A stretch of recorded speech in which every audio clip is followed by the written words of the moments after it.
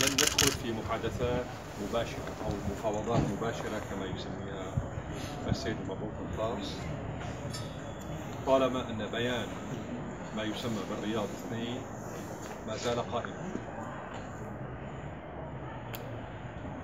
نحن نرى أن اللغة التي استخدمت في بيان الرياض اثنين هو عبارة عن شروط مسبقة والسيد المبعوث الخاص نفسه قال بأنه لا شروط مسبقة لكن لغة بيان الرياض اثنين بالنسبة لنا وبالنسبة لكثير من المراقبين والمحللين والعواصم السياسية هو عبارة عن عودة إلى الوراء.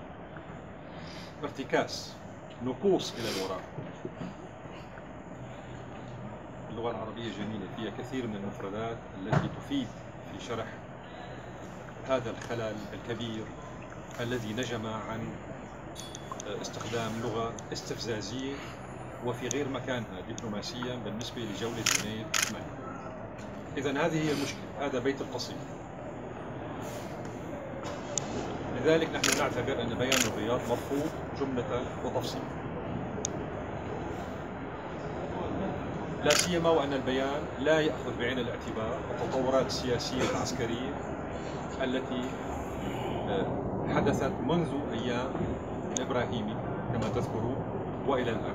ولذلك نحن نقول بأن العودة إلى الوراء إعادة محاولة يائسة من آه، من شارك في اجتماع الرياض لإعادتنا إلى المربع صفر إلى أيام الإبراهيمي وهذا الكلام يعني محاولة جدية لتقويض مهمة المبعوث الخاص السيد ديمستوري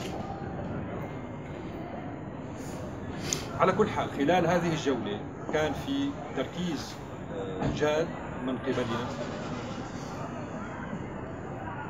ومن قبل الأمين المبعوث الخاص حول ورقة المبادئ الأساسية للحل السياسي، المبادئ الأساسية للحل السياسي يلي هي اختصارا تسمى ورقة المبادئ 12 هذه الورقة بالنسبة لنا كنا قد قدمناها كما تذكرون في شهر آذار مارس الماضي يعني من تسعة أشهر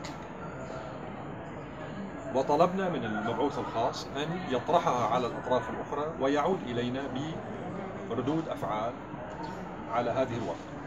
وطلبنا أن تكون هذه الورقة هي أساس للنقاش طبعا بين شهر آذار والآن جرت عدة جولات لجنيف وكنا كل في كل جولة نسأل المبعوث الخاص ماذا حصل لورقة المبادئ الأساسية.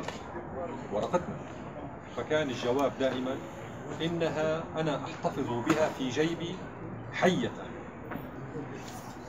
وكنا نمزح معه ونقول حية. لأنه باللغة العربية كما تعرفون كلمة حية تأخذ معنيين.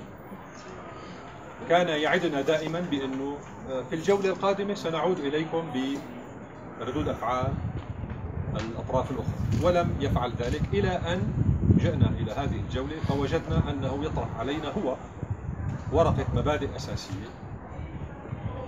من دون أن يتشاور معنا مسبقا.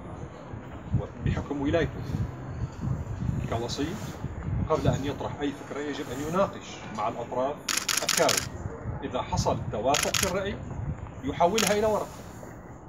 هذا الأمر لم يحصل.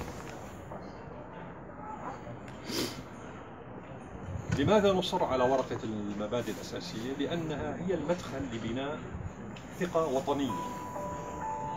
هي المدخل الأساسي الذي يسهل إيجاد حلول للمسائل القائمة. يعني باللغة البسيطة هذه الورقة تهدف إلى بناء قواسم مشتركة. قواسم مشتركة ذات صفة وطنية. امتحان لنوايا الجميع. لاحظنا مع الأسف أن المبعوث الخاص كما شرحت لكم قبل قليل قد تجاوز آه، آه، ولايته بطرح. ورقته الخاصة علينا وطلب أن تكون ورقته هو أساسا للنقاش. يعني طرح ورقة بديلة عن ورقته